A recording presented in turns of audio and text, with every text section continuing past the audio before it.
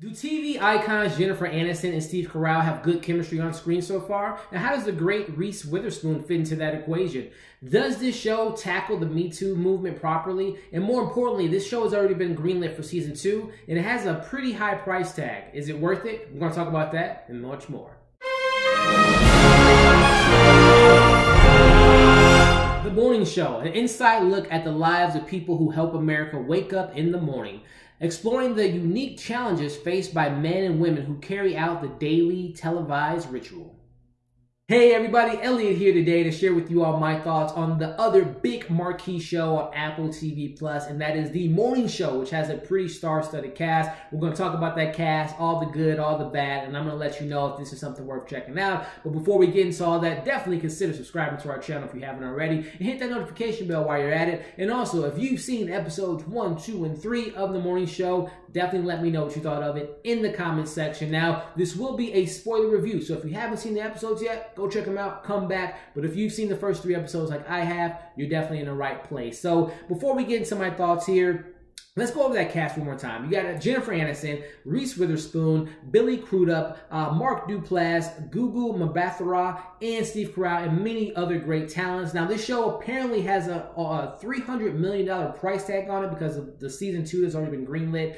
And we're going to talk about that, if this show is worth that big price tag. But um, going over the first three episodes, again, the situation is you have uh, Steve Carell playing Mitch and you have uh, Jennifer Aniston playing Alex. They've been co-hosts on the show for 15 years. And all of a sudden, out of nowhere, Steve Carell gets outed in the Me Too movement and has been called out for sexual misconduct. And that's kind of how the show starts off. Within the first 20 minutes, we're seeing this fast paced, fast cut, you know, kind of Aaron Sorkin type of, uh, of uh, dialogue, quick cutting type of situation because it's chaotic right now. And that's because of the situation that everyone's in. No one expected this to come out. At least so far, no one's expected this to come out. We might learn some more about it later in the season, but everyone's kind of on a on a on a, on a on a breakneck type of schedule. You know, Alex is really kind of depleted within this first episode. She's kind of just you know doesn't know what to do because her her friend who she thought she knew uh, you know has been outed, and we find out some very interesting reveals about Alex and Mitch's relationship that they have kind of had an affair once or twice.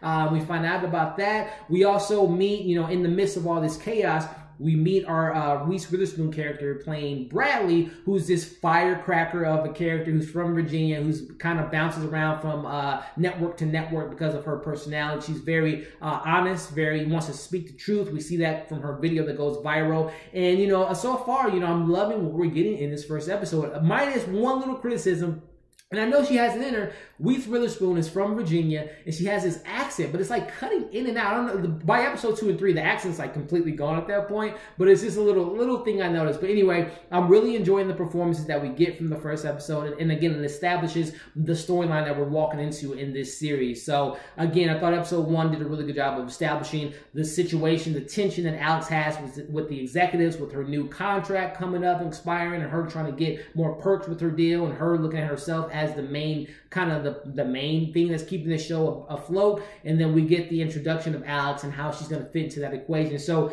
transitioning into episode two, this is where Corey, played by uh, uh, Billy Crudup is the VP or the vice president or the actual president of the network, and he sees this viral video and he wants to inject something new to this show because they want to cut ties with Alex's character uh, because they feel like she doesn't have the spark anymore like she used to, especially with this a whole Me Too movement with, with Mitch. So Corey has Bradley meet with uh, Mark Duplass' character Charlie, who's the executive producer of the show, and that interview goes terrible. We see how that plays out. You know, we also again this show hasn't really touched within the first few episodes. We we've seen Steve Carell, but as you notice, it says and Steve Carell in the title card and the trailers and all that stuff, and he kind of is playing the back seat. And um, it's really interesting to see how the show is kind of handling the Me Too movement. Again, this kind of parallels the true events in our real life with you know someone like Mike La- uh, Laura and uh, um, uh, what's his name, Charlie Rose, kind of that situation. Again, I don't watch the news. I try to stay away from all that kind of stuff. But I do, uh, not saying I dismiss the Me Too movement. I just don't pay attention to, to those particular storylines.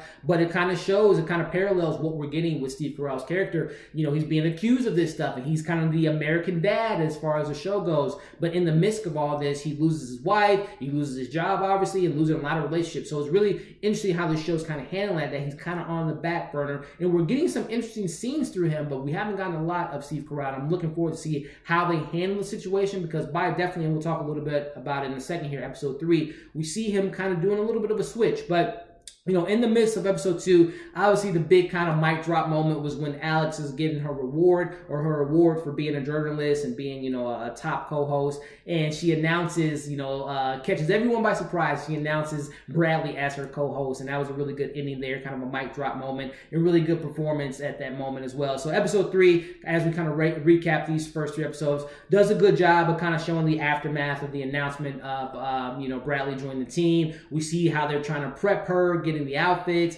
We're getting more of, um, you know, um, Alex kind of taking more power and kind of setting her own destiny within these executives and, and kind of making, calling her own shots. We see more people kind of getting into the supporting cast. We're getting an accuser on the show pretty soon as far as speaking her truth. We're getting things with, um, some of the other supporting cast members being upset about Bradley being a co-host. So there's a lot of good storylines going on so far. But one of the more interesting scenes that I really liked, and this is where the show kind of is trying to find its tone. Sometimes it's serious, sometimes it's dramatic. But in this particular moment in episode three, we get Steve Carell, Mitch, talking to Martin Short, who's like a director who's been caught in this Me Too movement. And it's a really interesting conversation they have because Martin Short says something about, you know, a young lady came out and accused him of rape and he how he kind of put that on the back burner. And Steve Carell's kind of having a conversation like, you know, I'm not you, you know, and was, that was a really interesting dynamic. That's when I'm really kind of interested to see how the show handles that topic because it is a very important topic and a very sensitive topic. And the show's not for everyone because it is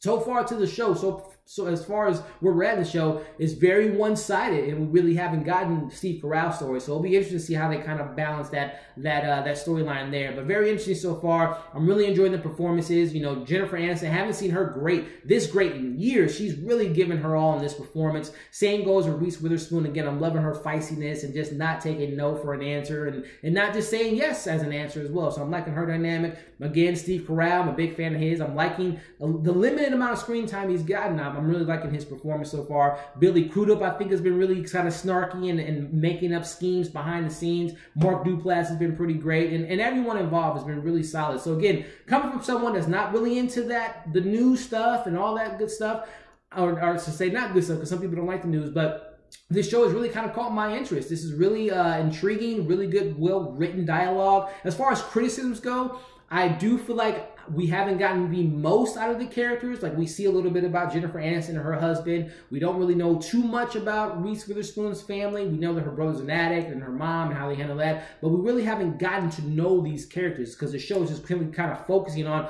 the news making aspect and the Me Too stuff, but they really haven't developed the characters too well. So I really would like to dive more into the characters, and that's probably my biggest criticism so far. But besides that, it's a really entertaining show, uh, a show that is clever at times, funny at times times as well as has some really good dramatic moments. So I recommend you all check it out. And when you do, let me know what you thought of it in the comment section. Give this video a thumbs up, share this video. And like I said, subscribe to our channel if you haven't already and check out our other review that we did for See. I will be checking out some other uh, shows that they have on Apple Plus, so keep an eye out for that. Check out all of our content as far as uh, videos with movie reviews as well. We did some stuff for Netflix, so definitely got a lot of fun stuff for you all. So subscribe to our channel, follow us on all of our social media accounts. Thank you for watching this review, we'll see you in the next video.